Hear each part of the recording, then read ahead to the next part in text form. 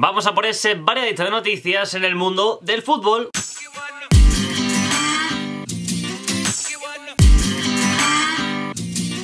¿Qué tal amigos? ¿Cómo estáis? Bienvenidos a un nuevo vídeo, bienvenidos al Variedad de Noticias con la mejor información del día respecto al mundo del fútbol, muchas cosas, tanto de mundial como de fichaje, de verdad muy cargadito todo, con muchas cosas muy relevantes que merece la pena que analicemos y recopilemos en este vídeo, pero antes de empezar con ello, tengo que pedirte, si es que no lo has hecho, que te suscribas al canal, lo puedes hacer aquí abajo para que no te pierdas ninguno de los vídeos que voy subiendo cada día y vamos a por ello. Empezamos hablando del Mundial 2018, ya sabemos cómo ha acabado esa final, he hecho antes un vídeo analizándola, pero bueno, 4 a 2 finalmente ha ganado Francia a la selección de Croacia, el MVP de la final ha sido nada más y nada menos que Antoine Griezmann, que se ha mostrado muy contento después de haber conseguido ganar ese título y se lo ha dedicado a los colchoneros, a los aficionados Atlético de Madrid. Atención. No, nada, eh, ese título para, va para todos los colchoneros, os quiero mucho y nos espera un, año eh, ilusionante y lo vamos a dar todo. Gracias. Ahí tenemos al propio Antoine Griezmann, ese mensaje a los aficionados del Atlético de Madrid y después de eso pues ha protagonizado dos momentos bastante divertidos. Uno de ellos ha sido cuando se ha ataviado con la bandera de Uruguay. Debido a que un periodista se ha arreglado en la sala de prensa y Griezmann no ha dudado en cogerla y en ponerse la grito de Uruguay no más. Así que bastante llamativo que Griezmann pues coja justamente esa bandera que estamos viendo y se atavió con ella durante toda la rueda de prensa. Sabemos que Griezmann tiene bastante cariño por Uruguay y nos ha sorprendido mucho también ver primero a Macron, el presidente de Francia, junto a Pogba, haciendo el DAF, bastante llamativo. hemos visto a Pogba con el sombrero mexicano, se ha juntado con Griezmann y han hecho este mensaje en homenaje a México. Griezmann, ¡viva México, cabrones! ¡Ay, tu madre, güey! Un saludito a Calito Vela, güey. Llamativo cuanto menos y después de ese partido, después de esa final del Mundial, pues a Luka Modric le ha entregado el premio como mejor jugador del propio Mundial, como mejor jugador del torneo, ese balón de oro del torneo que ha recaído en Luka Modric, hecho que no siempre ganan los mejores, dicen que han sido mejores en la primera parte, justamente lo mismo que ha dicho Rakitic, que el fútbol ha sido injusto con ellos, porque ha llegado tres veces Francia, ha marcado tres goles y no ha sido posible para ellos darle la vuelta al resultado, pese a que fueron mejores en la primera parte. Pero bueno, Francia finalmente ganó y luego volviendo después de toda la celebración en el autobús, le han dedicado esta canción a Engolo Kante. Atención.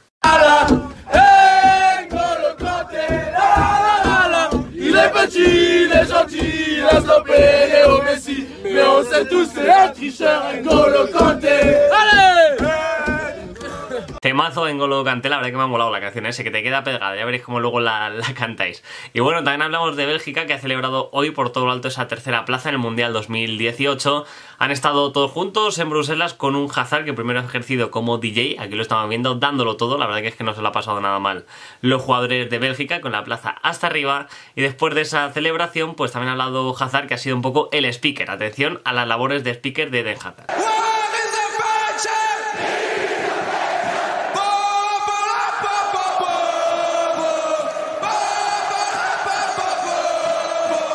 Buen speaker, ¿eh? Buen speaker Hazard, el que le fiche sea un futbolista y también un speaker, dos por uno. Además también puede hacer de DJ, así que un jugador muy completo. Por su parte, Argentina, tenemos información sobre la selección argentina. Lógicamente ya el Mundial ha terminado, pero se ha hecho ya oficial por fin que San Paoli deja el banquillo de la selección argentina, que prescinde de él el propio Tapies, el propio presidente de la Federación Argentina, y ahora mismo tienen que elegir a tres candidatos para hacerse cargo del combinado albiceleste. Suena con mucha fuerza Gareca, Almeida y Gallardo. Hay que decir que Gareca es el hombre que suena con más fuerza para dirigir a esta selección argentina. El favorito. Y si Gareca es el favorito, sin duda alguna, sueño es el Cholo Simeone, pero parece inviable que dirija la selección argentina porque no quiere dejar el Atlético de Madrid y tampoco creo que el Atlético de Madrid le permita compaginar ambos trabajos. Y bueno, Cholo Simeone, hablando ya de fichajes un poco, que está esperando fichajes por parte del Atlético de Madrid. Esta semana puede ser definitiva para los fichajes tanto de Kalinic, jugador del Milan, como también la posible llegada de Gelson Martins, jugador del Sporting de Portugal. Parecen muy cerca ambos del Atlético de Madrid. Y por su parte, el Valencia está interesado en Kostic, jugador serbio, jugador que está en el Hamburgo, que interesa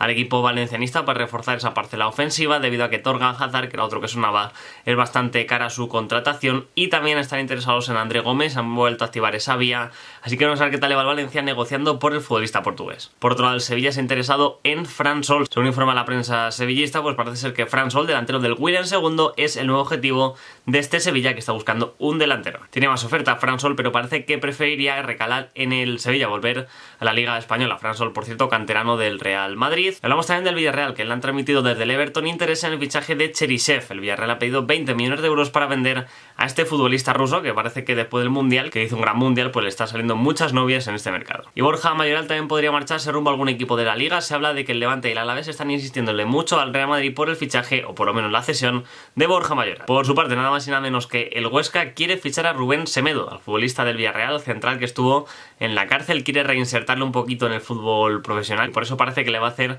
una oferta, según informa Diario Marca, para fichar a Rubén Semedo después de todo lo que pasó en prisión y demás. Y este es Cristiano Ronaldo, que ya ha llegado a Turín, ya ha llegado para ser presentado con la Juventus, será presentado por todo lo alto en la ciudad italiana y bueno, pues aquí tenemos ese recibimiento que le han hecho un poco, ha llegado de sorpresa, la verdad que nadie le esperaba al propio Cristiano Ronaldo que llegara si no hubiera habido más aficionados y demás, pero bueno, ha llegado un poco de la noche a la mañana, lo ha compartido la Juventus estas imágenes y ya ha preparado para ser presentado con el equipo juventino. Eso sí, Cristiano Ronaldo puede haber sido presentado con el Nápoles, según confirma De Laurentiis, fue ofrecido por Jorge Méndez para que llevara a cabo la operación para fichar a Cristiano, algo que desestimó por parte del equipo napolitano y finalmente recaló en la Juventus. Y Unai me ha dicho que no va a hacer más fichajes ya este verano, por lo menos que no tienen sus planes fichar más futbolistas para el Arsenal, dicen que lo que tienen tienen de sobra, pero eso sí, ha dicho que si finalmente se marcha algún jugador del equipo, a lo mejor si se plantea fichar algún jugador más en el mercado de fichajes o incluso si necesita alguna carencia que no tiene esta pretemporada o hay una buena opción de mercado. Así que Emery dice que sí está cerrado, pero no del todo. Y vaya fichajazo ha hecho hoy el West Ham con el fichaje de Felipe Anderson, que se marcha procedente de la Lazio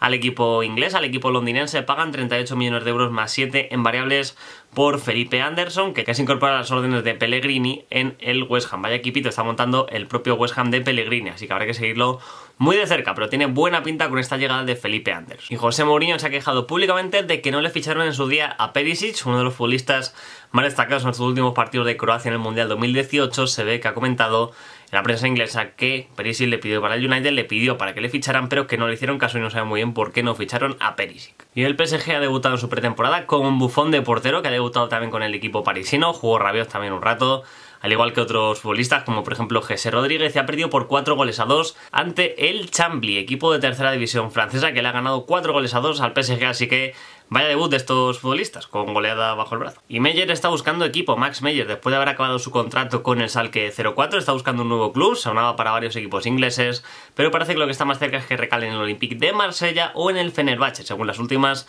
informaciones el propio Max Meyer. Cerramos con tres últimos apuntes, el primero de todos es que Fernando Torres ya ha sido presentado con el Sagan Tosu en Japón como nuevo jugador del equipo japonés, también tenemos esta imagen de Paulinho, que ha llegado por todo alto recibimiento multitudinario en su llegada a China para firmar con el Guangzhou grande de nuevo. Y por último, John Terry, que tiene cuatro ofertas de la Major League Soccer, a ver qué decide el central, que de momento se encuentra libre tras rescindir su contrato con el Aston Villa. Y nada, básicamente esto es todo lo que ha pasado en el mundo del fútbol. Me gustaría conocer tu opinión al respecto, lo puedes dejar justamente aquí debajo en los comentarios. Dale me gusta al vídeo si te ha gustado y suscríbete para que no te pierdas ninguno de los vídeos que voy subiendo cada día. Nos vemos en el siguiente, ¿eh? ¡Hasta luego!